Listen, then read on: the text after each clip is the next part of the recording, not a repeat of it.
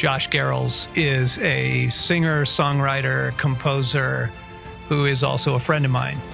And the other night, he sends me a text. It's like 9 p.m. And he says, Hey, I'm finishing this song in the studio, and my wife really thinks you need to hear it. And so I play the song, and my reaction is, Holy cow, this is the anthem of this hour. We got to put this on the podcast. Welcome back, friends, to the Wild at Heart podcast. I have a very special treat for us this week. I'm going to introduce a friend of mine, singer, songwriter, composer, in just a minute. Uh, he's releasing a new song right now this month that I think is is for all of us, and we'll listen to it. and We'll find out why. But first, let's take the pause that we always do. Let's let go of the day, let go of the week, get out of the chaos, and recenter ourselves in the presence of God. So, Father, Jesus, Holy Spirit, I give everyone and everything to you in order to have you. What do I need to release today? What do I need to release this week to you, God? Just take a moment, friends, and just begin to lay it all down.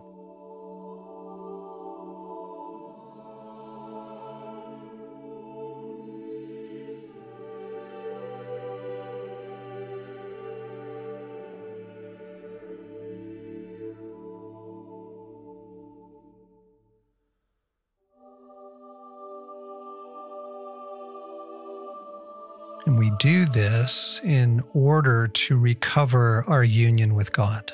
And so we pray, restore my union with you. Father, restore our union.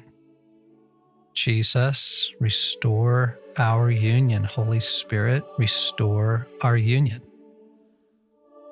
And we ask you to come and meet all of us in this week's podcast. Amen. So, friends, I am really excited to introduce a friend of mine to you. Now, he's known to many of you already, but we haven't had him on the podcast before. And so I want to welcome Josh Garrels to the Wild at Heart podcast. Hey, thanks for having me. Yeah, Josh, good to see you. Josh is a composer, singer, songwriter, beloved to many, many people. And he and I met through a, a Wild at Heart event a couple years ago and become friends. And I I love Josh for many reasons.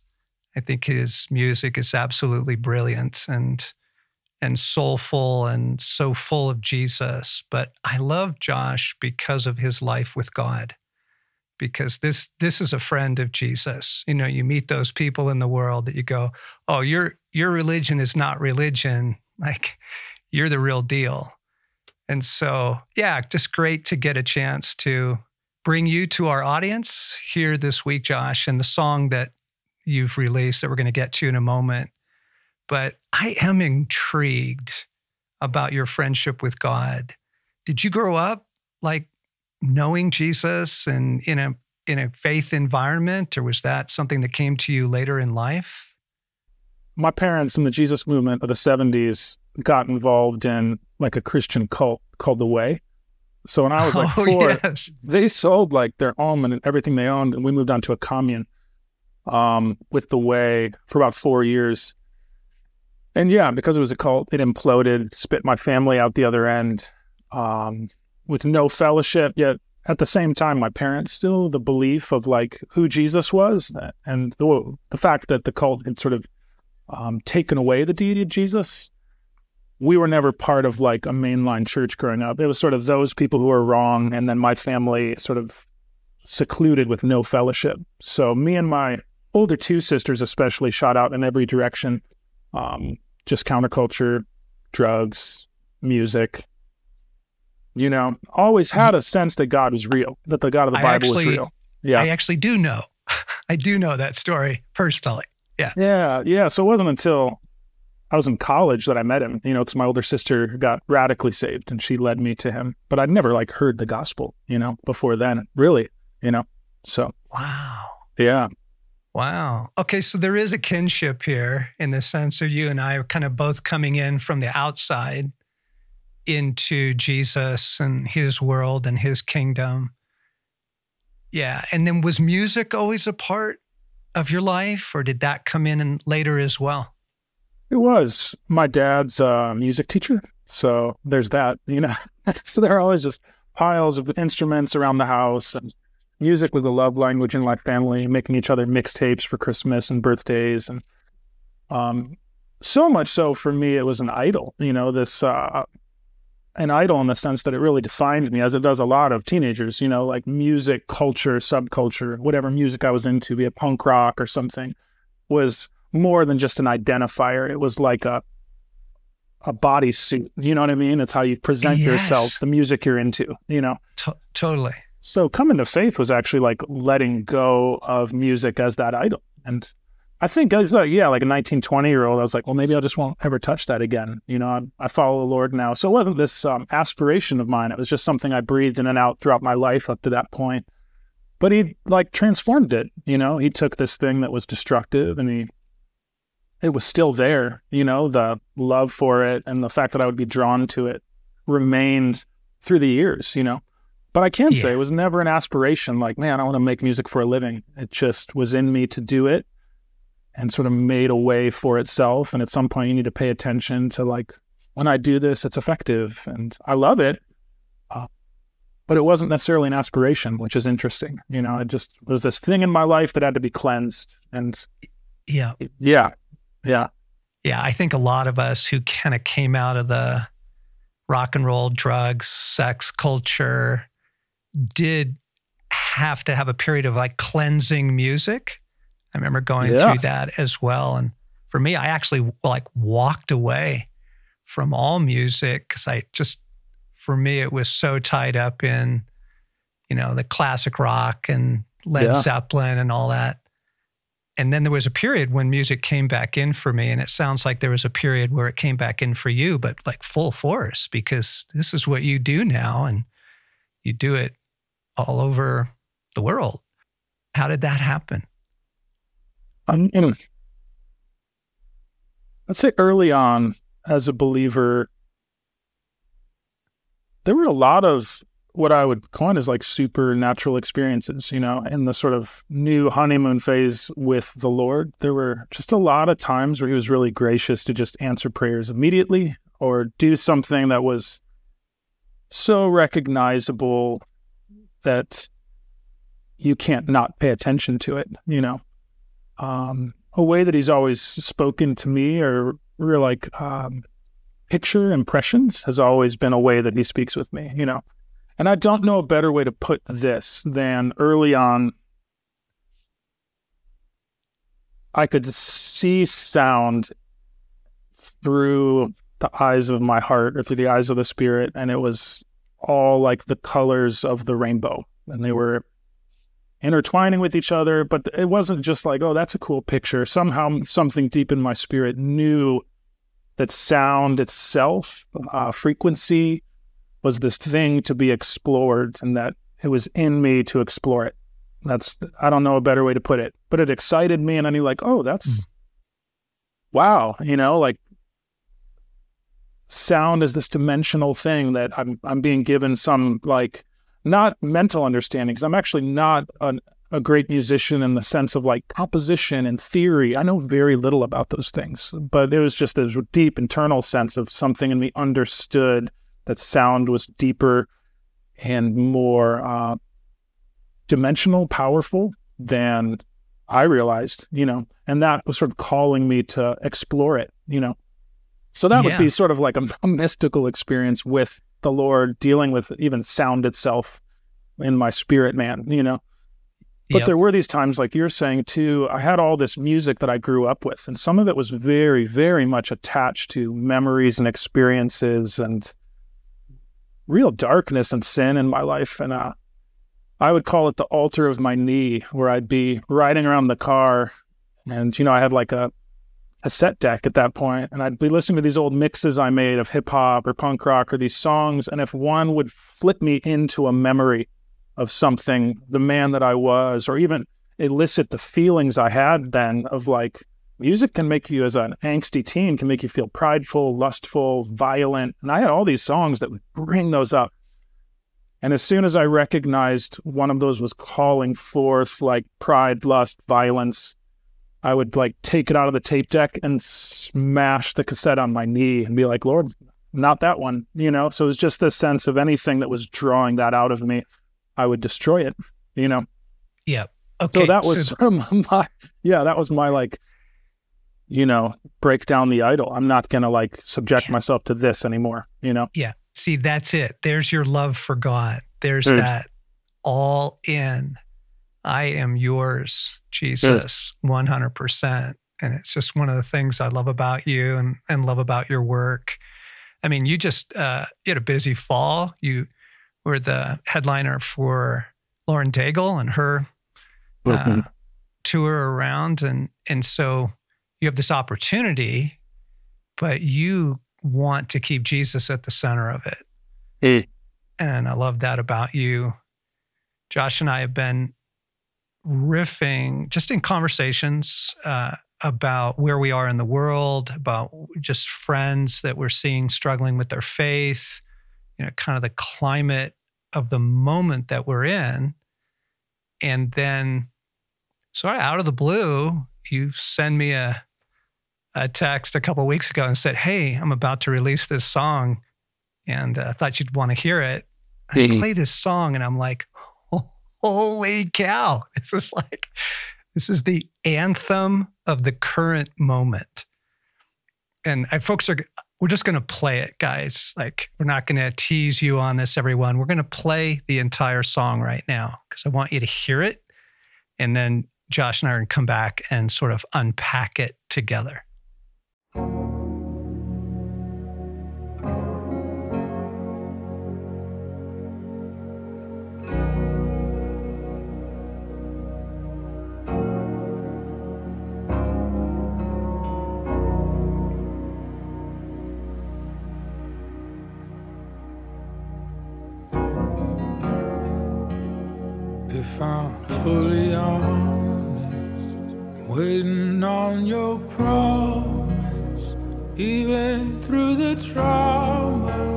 swear my friends away.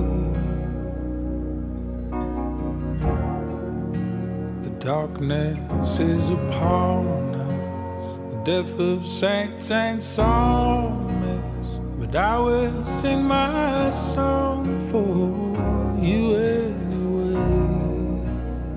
Cause You're all I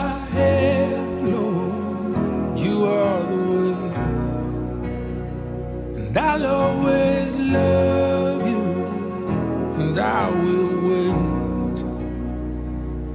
Like a watchman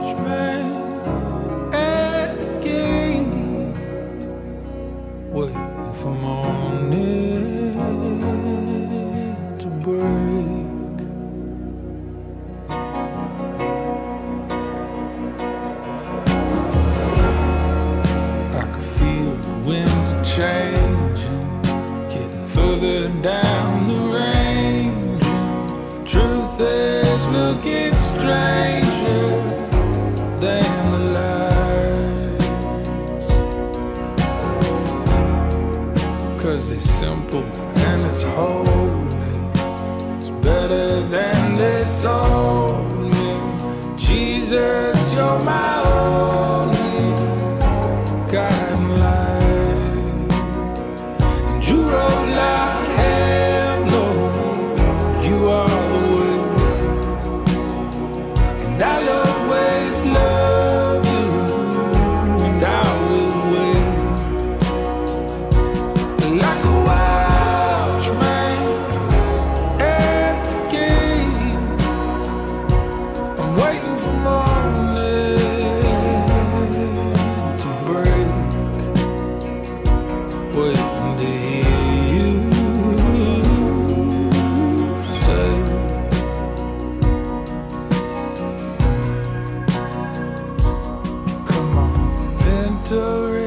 to my rest and lay your head upon my chest, for I have called you friend.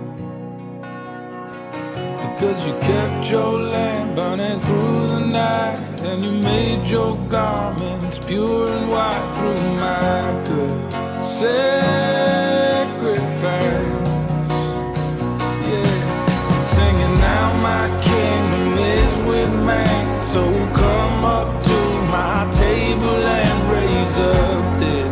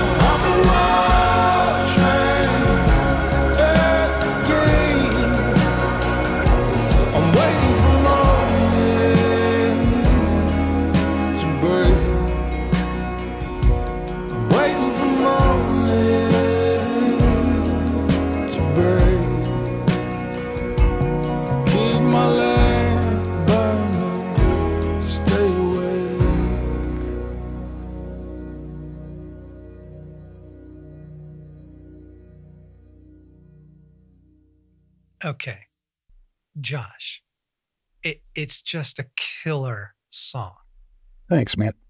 in so many ways, musically and composition and your vocals and the lyrics, like what you are bringing to the world. Like, where'd it come from? What's the story of the song? I mean, I've been following you and your podcast, you know, since we've become friends the last few years. But you putting words to what we've all felt, you know, coming through the lockdown, you know, like the time we're living in. It's more than just, you know, those difficult two years. Um, oh man, let me gather my thoughts. We're just, uh, sometimes I'm impressed by something more than having words for it. Yep. Can I ask you a couple of specifics? Yeah, that would help. Yeah. yeah. So, like, you talk about um, the song's about hanging on. It's about Yes, hanging yes. on to faith. I'm going to keep my lamp burning. Yes. I, I choose my love for you, even in the midst of a really difficult moment in the human story. And so, you opening in the song early on, you talk about the trauma that seems to be sweeping people away, and and even maybe friends of yours. Yep. Like, are you seeing that? Are you seeing folks you love and know turning? Yeah, absolutely.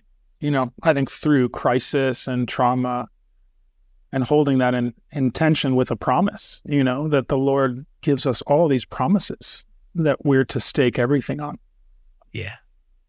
Yet the narrative, the story around us telling us a completely different story, where maybe in the past those two felt like they could coincide a little more. There was room for kind of both stories at once. You know, the, there's this world around us and we love the Lord, and these things are sort of coexisting, which is sort of a carnal Christianity, you know, um, a lukewarm Christianity. And we that we were seeing a shaking, you know, in our culture where those two things can't coexist. So I've always felt like the positive side is it's going to make the strong stronger, but the sad side is we all have like many friends who have walked away, you know, who have been Yeah. in some ways destroyed in the last three to five years, you know. And it's been a trend that I've seen since like 2010, 2011, you know, this, Yep. This walking away. And uh, back then I attributed it more to just, well, I'm in my 30s now. So these people who were zealous with me in my 20s when we had nothing to lose and we were idealists, real life hit. They had some kids, they had a job, some things fell through, they got divorced. It's just that. We're just at an age now where people are getting divorced, people are falling away from the faith. But if I'm honest, it started all the way back then, and this internal sense within that it was more than just a season of life now that I'm walking through. There's some truth to that, but I've only seen that wave swell, swell, swell, you know, to to the point that to make it through to make it through hmm. this, we have to like hold on to his promises, to life with him, you know, because we can't those two things that seem to be able to coincide, like uh, engagement in the world storyline, and then this sort of private story with the Lord, and having those two dance with each other, and it's it never should have worked, but maybe we were tricked into thinking it worked. But I think especially now it doesn't work. There's almost so the next verse being, you know, the darkness is upon us, the death of saints and psalmists, you know, that perhaps that's melodramatic, but at the same time, we're entering a time where to fully follow him is going to be abhorrent, I think. Yeah. To stand on his promises and the truths that he's given us that are going to live on forever past our little cultural moment here in history. Like to stand yeah. on those is, is becoming abhorrent, you know, which is why on the second verse I say, like, this truth is getting stranger than the lies around us. You know, I think the big thing for me and my wife, our language for it is like staying locked into the Lord's story to his storyline, to his narrative, which is more true than anything else we've found, you know. And it's been seven, ten years of us disentangling ourselves from this storyline in the world, you know, of um yeah, sort of hipster Christendom where we love him. We love him. He's the center. We say he's the center, but then there's there's all these things satelliting around the center that at times I was more concerned with those things, be it next album, the next tour, getting invited to this thing, making this amount of money, you know, like presenting myself this way on social media, getting this many followers, getting inertia here and building this thing. And um, yeah, realizing that's not his storyline at all, you know? Um, so becoming disentangled from that slowly but surely getting locked into his his storyline, his which is his truth and what he's doing, is more and more distinctly separate from what is happening around me in the world. You know, uh, yeah, and choosing yeah. more and more to go all in on it. You know, which is this. Um, you know, I think the term would be surrender. To okay, Lord, like I trust that your storyline is the true storyline. Your promises stand despite the trauma and tragedy that's happening all around me, despite the sickness, despite the betrayals, you know, despite, oh man, just the carnage we're seeing that like, yes, his promises will stand, you know, through it. Yes. Choosing yes. to hold on to that, you know, choosing to hold on to that, even though we're, we're headed through some like bumpy waters, some turbulent seas, you know, that are going to affect some of those around us in negative ways, you know, which is why I appreciate what you guys are doing because you guys are yeah. trying to throw life vests out to people who are about to drown, you know, and that's, I've told you before, like, man, I'm all in on this, you know, like, let's, let's, let's throw the life vests out there. Let's throw as many life vests as we can throw out there. Yeah. Totally. Yeah. 100%. Yeah. And, and, okay, so a couple things in what you said, so right on like the narrative of God is is really getting very um, in tension and greater and greater tension with the narrative of the world. Mm. You know, v- values, identity, all of that. And I think there was, there were, you know, you go through periods of human history where things are a little more peaceful or quiet, where those two narratives can maybe come back together for a while. And can kind of do Jesus and do the world, and they don't feel as as opposed as yep. they do now. They don't feel as like diametrically opposed, and it's just pulling and pulling away. And so your call in this song to keep your lamp burning. It reminds me of the song that you had on your earlier album, Chrysaline, uh, the song Faith, Hope, and Love.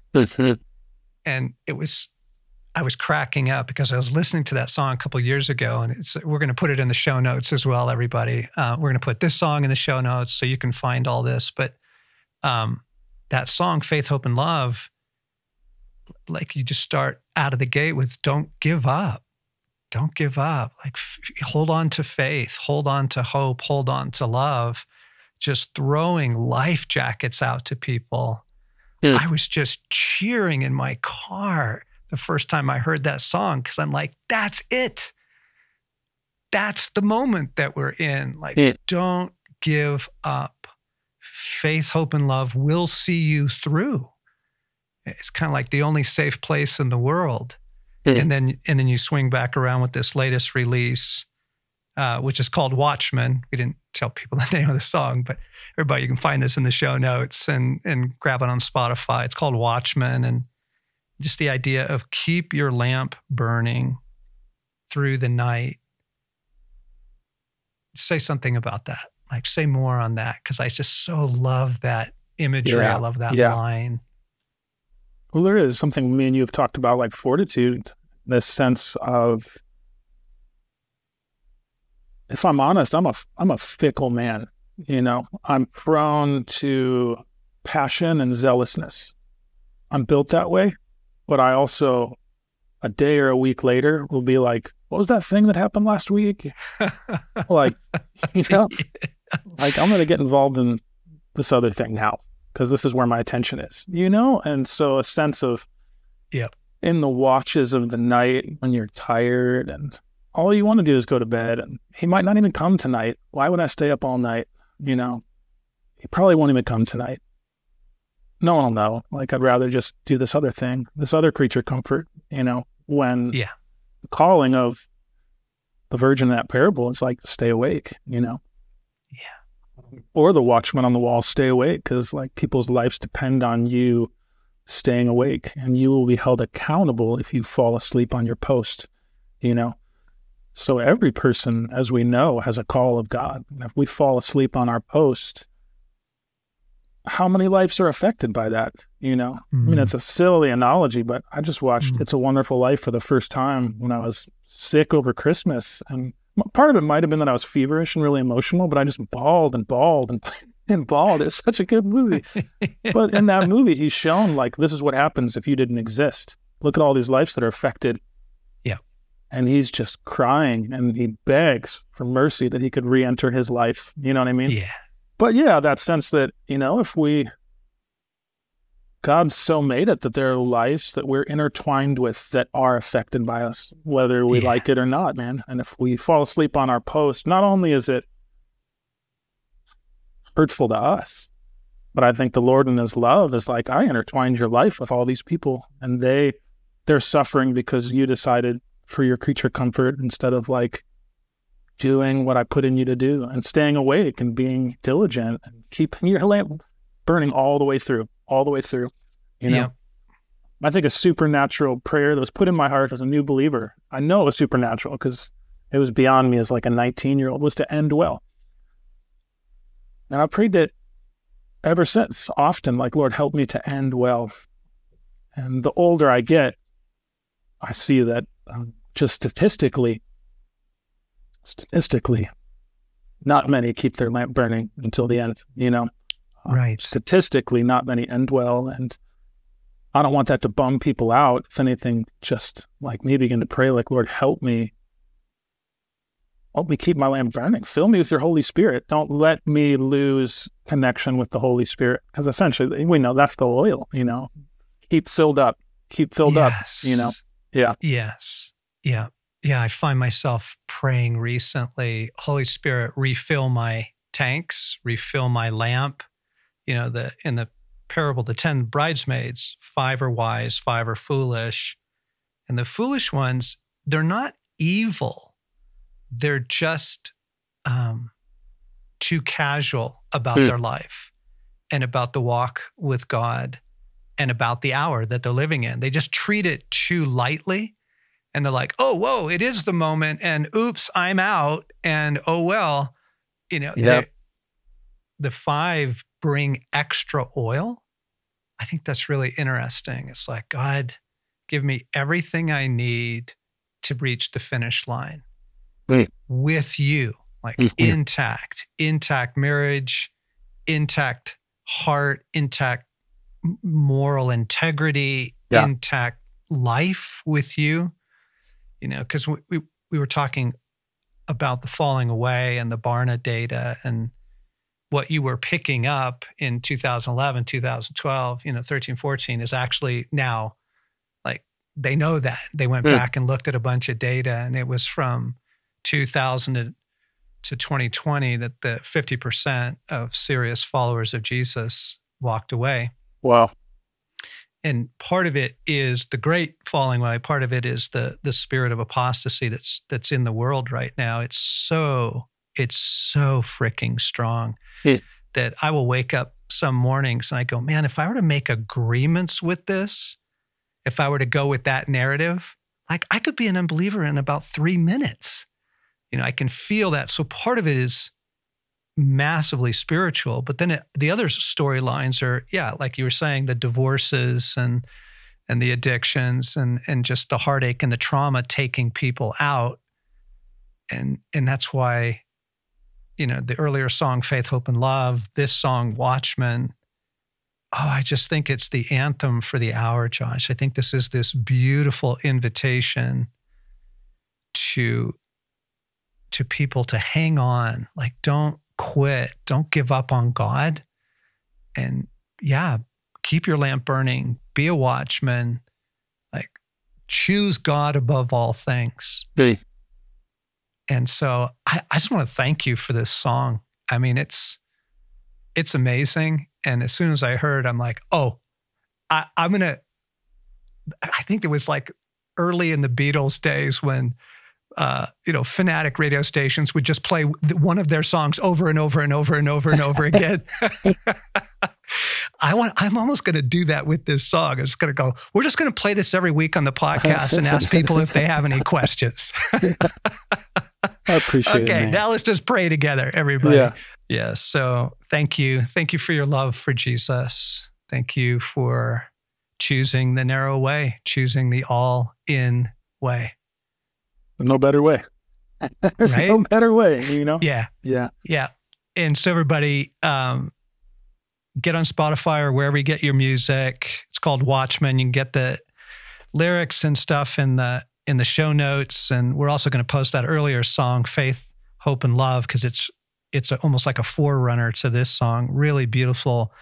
It's beautiful musically, which then allows it to enter into the soul. Then And that's what's so great about this. It, it, it gets the heart and soul engaged into the soulful experience and the honesty of it, but but the hope and the and the resilience of Jesus will see you through. Hang on. Hang on to him. So thanks, pal. Thanks for coming on the Oh, thanks for podcast. having me. I appreciate it, man. Yeah. Yeah.